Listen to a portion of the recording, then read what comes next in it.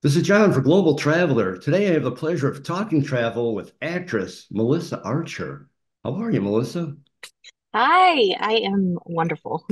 You're looking fantastic. The last time I saw you was probably, gosh, about eight, nine years ago at a convention.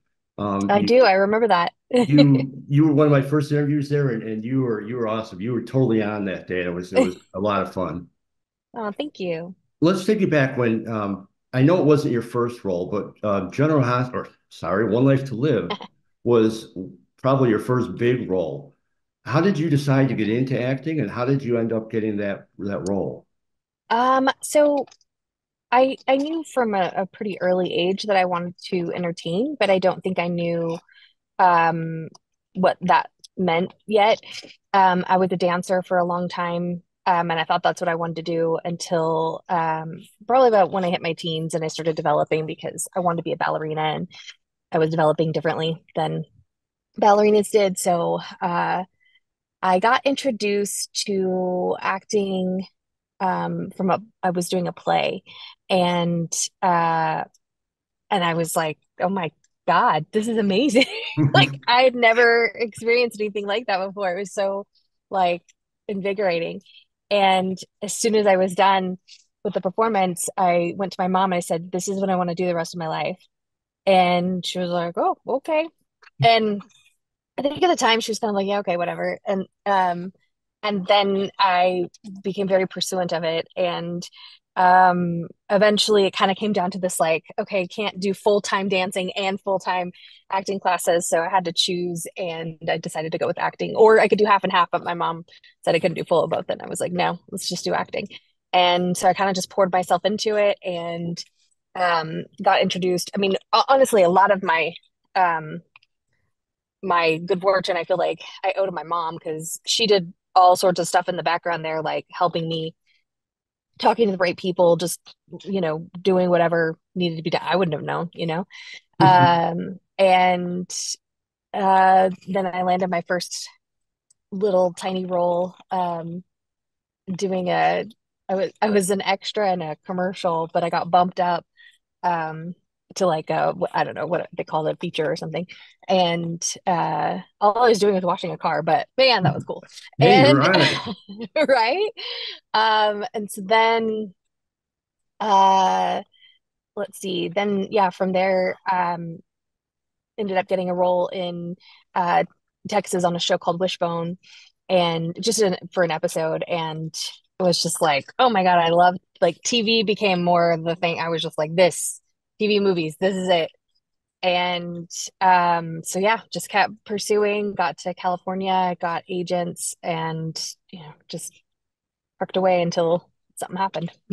And when you landed the role, I'm Willing to tell you there were a lot of longtime veteran, awesome actors, actresses, or you know, Erika Slezak, Clint Ritchie, uh, Robert Woods, Hillary Smith, all those. Were you intimidated, or how were you not intimidated, I guess, joining that Um, well, of course I knew who they were because my mom watched the show. So it was one of those things where I was like, "Oh, okay, and now I, I know who I'm working with. And I used to, um, I was very big about not uh learning who I was auditioning for, or like I didn't want to know how famous or whatever people were that I was working with because I didn't want to scare myself out, you know?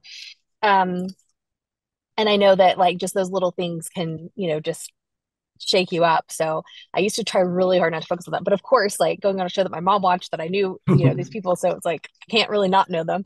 Um, so yeah, I was totally nervous. Um, I was really fortunate at the time because in my younger years, I was able, I was really good at taking nerves and kind of putting that into um, excitement. So even if I felt really nervous, I kind of like made it not so like I didn't psych myself out as much uh back then. So it was ironically like once I started working that I became more um like I could psych myself out a lot more when I became nervous, which is super weird. But uh I guess the stakes were higher. I don't know.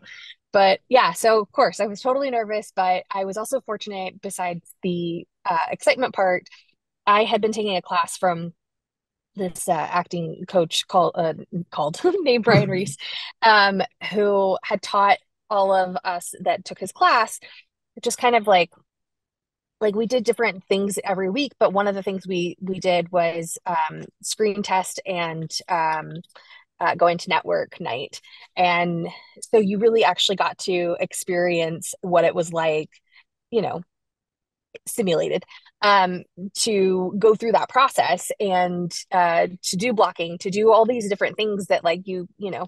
Um, like as though you were doing it for an audition purpose and and then what what would you do if you had the job so in that sense, I was super fortunate because I felt like when I came on, there was a lot of stuff that he had taught me already that I just was like, okay, I got this, I got this, I got this, I got this. And then there were things, you know, that were tricky here and there. And um, there's always stuff like you don't know, like I didn't know terminology. I remember the first time a director said vis a vis, and I was like, and I was so embarrassed because I thought, oh my gosh, like I don't know. And I was working with a couple of people who definitely, there was one specifically who intimidated me then. And um, and I was like not wanting that person to know, but I'm pretty sure it was like clear all over my face.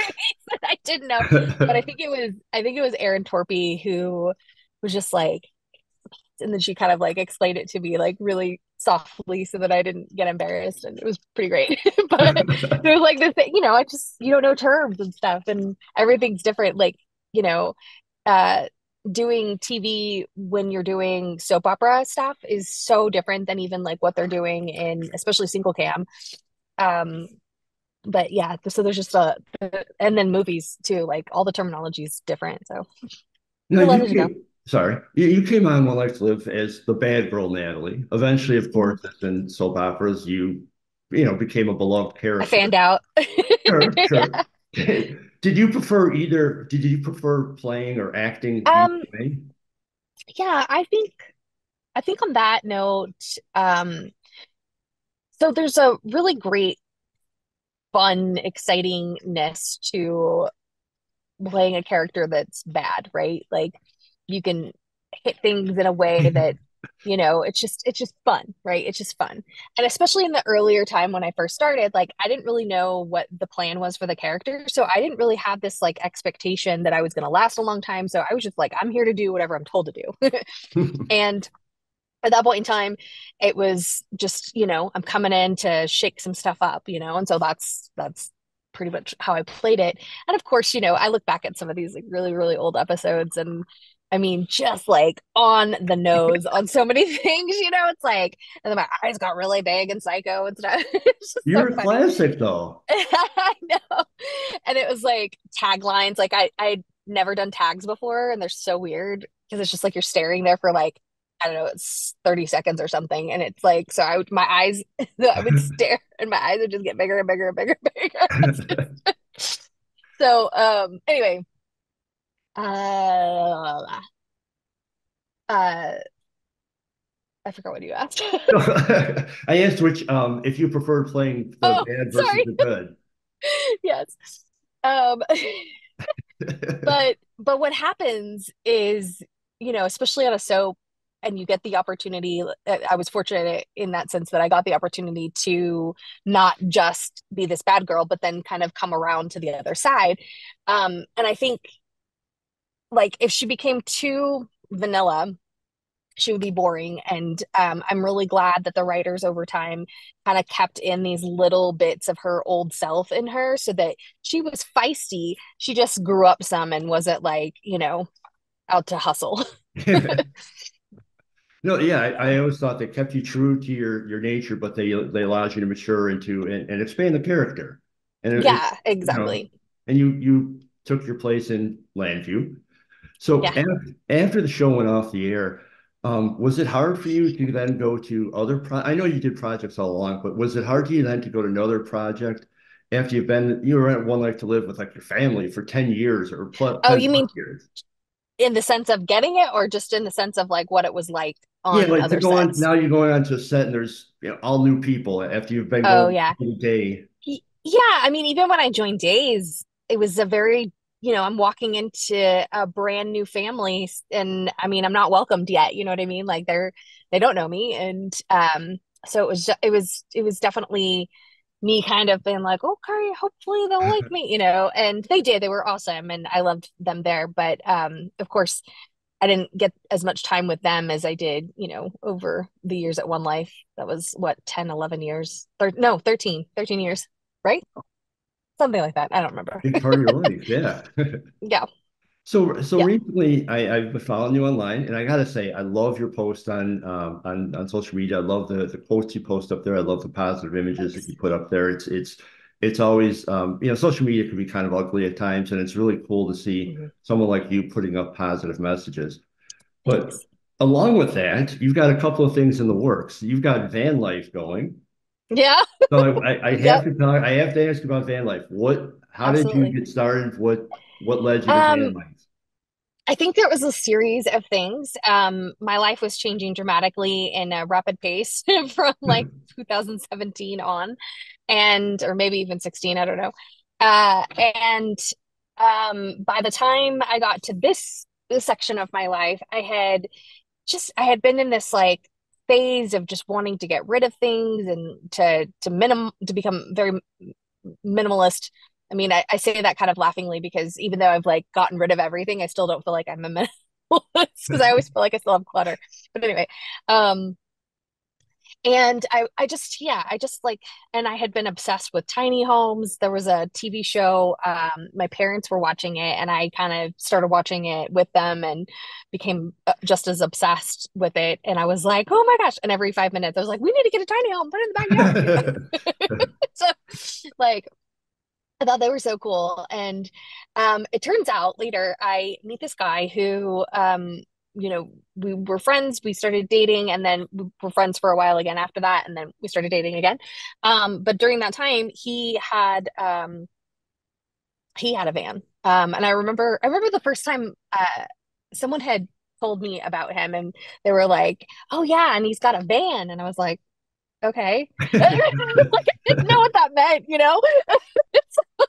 they're like, you know, like a camper. And I'm kind of picturing the like, not that this is bad. I mean, if someone has it, I'm not knocking it, but it, Sure, I'm sure. picturing, you know, a 1970s, um, uh, what are they? Winnebago. Not even, not Okay. even like, like an Astro or something. I don't know if an Astro is the right Oh, word, those but there's Yeah, the yeah, vans, but they like had, they kind of had like some sleeping ish to them ish, you know? Um, so that's kind of what I'm picturing. And I was like, oh, okay, cool. And uh and I had also so when I moved back to Texas, like I had gotten into this headset like the second I got back, I was like, I want to hike, I want to like get back into nature, I want to be, you know, outdoors more. And Texas is kind of a, a hard place to do that sometimes, just because I mean, there's nature and stuff, but the like weather, like in the summer, it's just disgusting. And then in the winter, it could be really cold. So it's hard to find like that happy medium, you know? And I didn't really know like a lot of places to go. So um, it kind of worked out um, after beating him. Um, I found some like much cooler places than where I had been going to hike. So that was nice. And um, yeah, and then eventually it kind of turned into this like um, and you know we did camping and stuff like that and that I enjoyed. I did that when I was a kid, so that was always fun. Um, but then around 2022, um, I had been watching like so many YouTube videos about people with their vans and people with even just like people who were doing like SUVs and stuff. And um, there was a Forerunner that we had that wasn't really being used, and can I do this? And I, I mean, I, I'm not like power tool girl. Like I'm, you know what I mean? Like, um, and not that I can't. It's just that that's not like you don't see me doing that out, out there every day. It's not something I can just walk out there and be like, oh yeah, I got this, you know. So I asked my dad. I was like, listen, I'm thinking about doing this. If you guys are cool with it, like, would you help me make it? And he was like, yep. So he helped me build out, and we built out this Forerunner, Awesome. and um, and I was like, okay, now I'm going to try this life. I mean, not, I wasn't going to do that full time. I was just going to Sure. do it like, you know, for uh, a, an extended period of time to see how I liked it. And so I went on my first trip and I think I was like maybe planning to do two weeks, maybe three max. And I ended up doing six Wow. because I fell in love with it. And the only challenge I had with the Forerunner is it's just, it's harder, right? Like you don't have as much space. Um, you have to go outside to go to the bathroom. Like there's just extra things. And my dog was starting to grow because he was a puppy when I got him. Um, or when we first started doing it. Um, sorry, I don't know if you can hear him barking now. Um, he's like, "Oh, you said my name," I think. um, so anyway, um, yeah, so he was getting bigger. I was like, this isn't gonna work. I mean, he was just like, oh, like, you know, in the passenger seat, trying to, you know, get comfortable. So I um started thinking about um you know what it would be like to get a van but i didn't really think it was possible i, I kind of had this like wow that seems like what other people can do but not something i'd be able to do and then um and then of course you know when you get an idea in your head or at least when I do, like all of a sudden it's just like things just start to crazily unfold. Yeah. And that's kind of what happened. So it was like, you know, oh, well, let me just go take a look to see what's out there. I mean, I can't afford these, but maybe I can, you know, I was looking, you know, I'll, I'll window shop, as they say. and so that's what I did. I started window shopping, and all of a sudden I came across this one. Um, and I was like, oh my gosh, like loved the design on the inside. Now, granted, you know, I'm looking at pictures. Sometimes pictures do justice or overdo justice. so, oh, right, right. Um, so wasn't sure, but I was like, the style was great. The only downside is that I couldn't stand in it. It wasn't a, a full, you know, topper.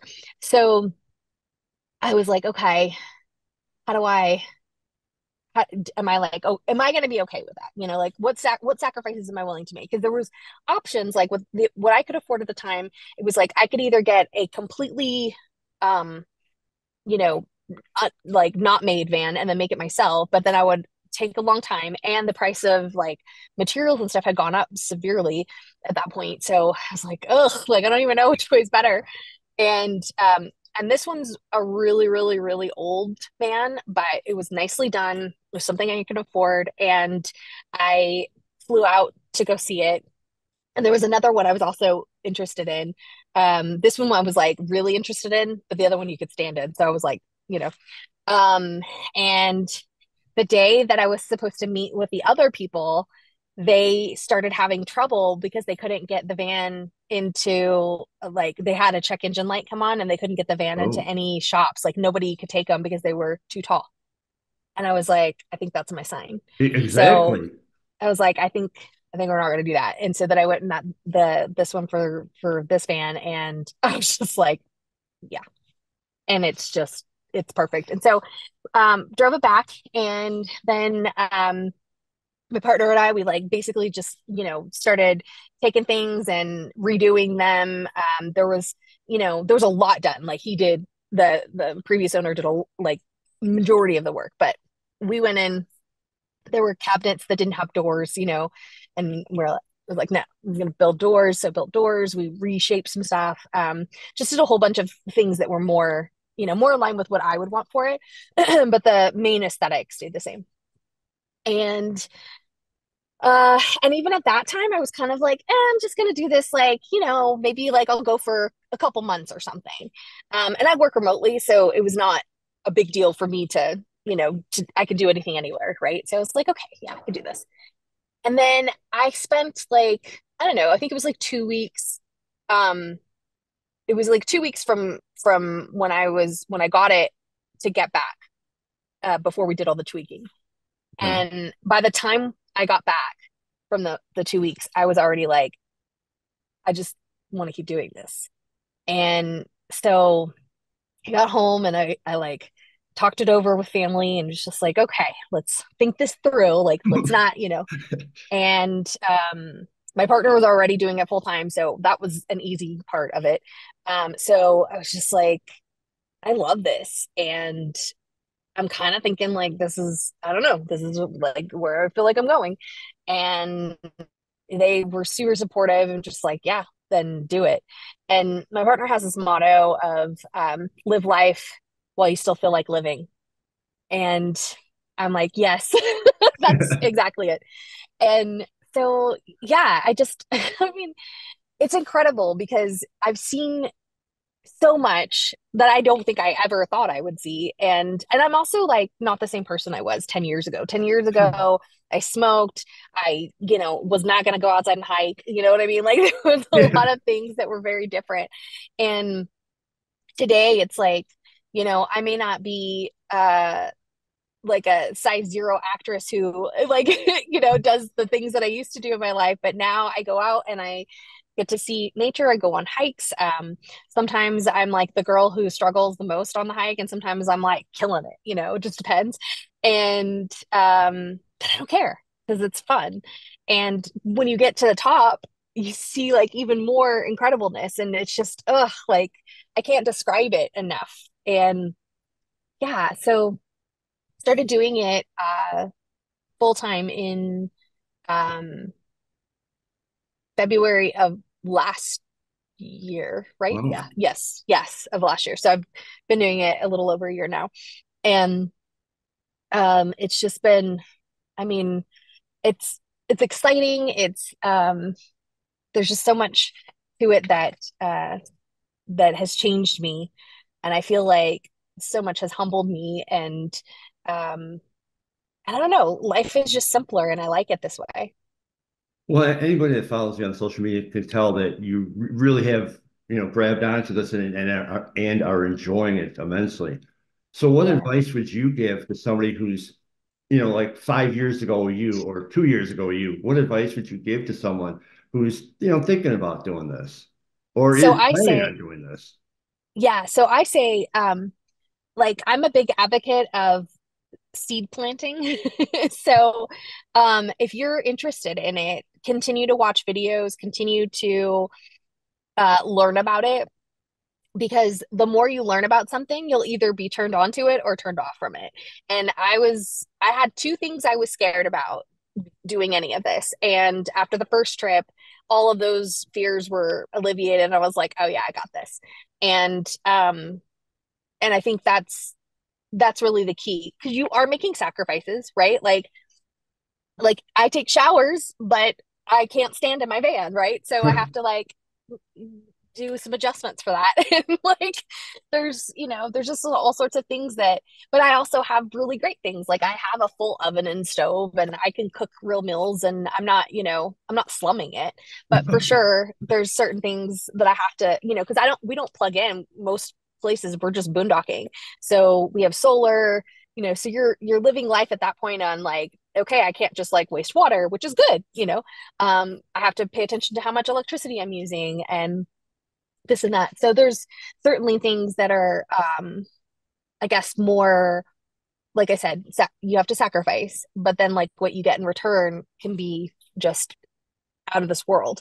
Um, so it's it's kind of, you know, you just start going through the process of like you know, seeing if the things you see when you're watching those videos, if that entices you. And then um, if you finally get kind of the nerve for it, you know, you don't have to invest right away. There's vans you can rent.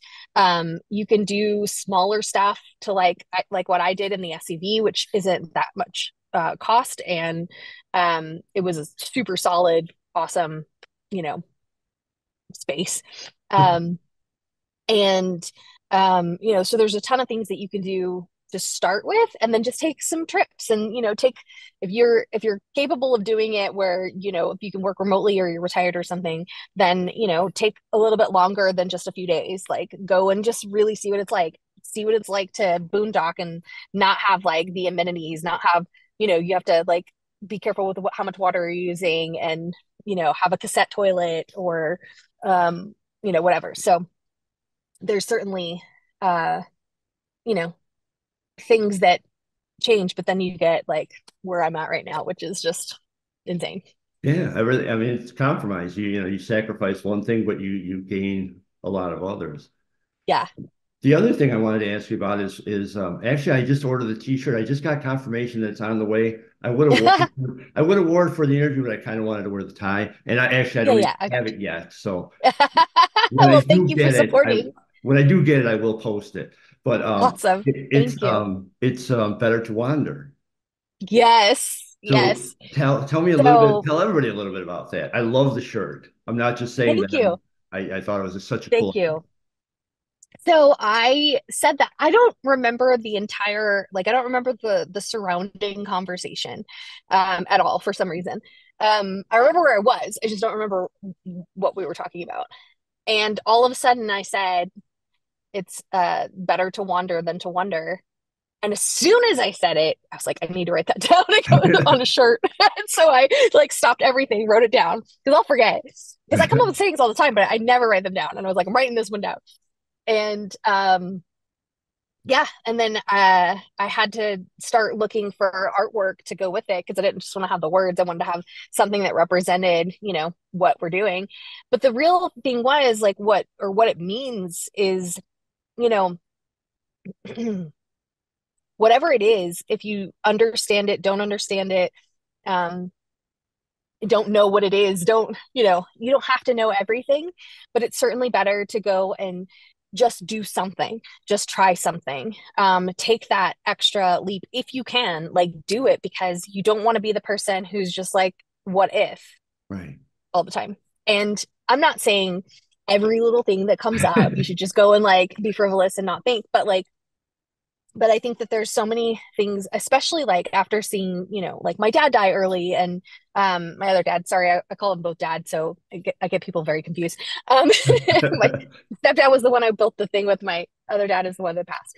Um so uh but yeah, I mean, like after he died, you know, it, it definitely because he was so young, like it definitely for me was like, oh yeah, that's like time is short and we don't really know what that's going to be like. And I don't know what I'm going to feel like in 10 years or 20 years when you're retired and all of that. So it's really just kind of finding ways to uh, take whatever that leap is and, um, you know, don't, don't sit there and wonder.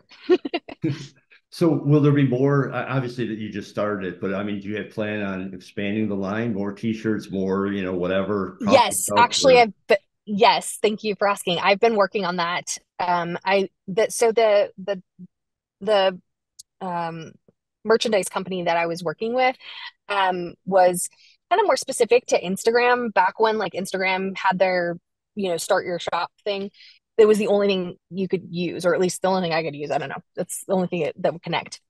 And so um, I started like a, a, different line like a long time ago, and um, I didn't really do much with it. It was kind of like, oh, I started this thing, and then I like left it alone, and it wasn't really that great. I didn't love the way it looked. Um, but I had never really done any of this stuff. So I was just kind of like, yeah, it's fun, whatever. I'm just taking some pictures and throwing them up on stuff, whatever. And then when this line came out, I was like, oh, this is so cool. And I like went and did stuff, but I didn't really love the that company. I felt like it was very limited in what I could um uh give and also kind of expensive. So um so I've been looking into other ones that I can um, and I, I did find one, so I'm, I'm working right now building the store on it. And um, I got a, a lot of really cool things coming. So well, I I'm can't excited. wait for them. You know, I'll be, you know, yeah. I'll be checking them out as they come.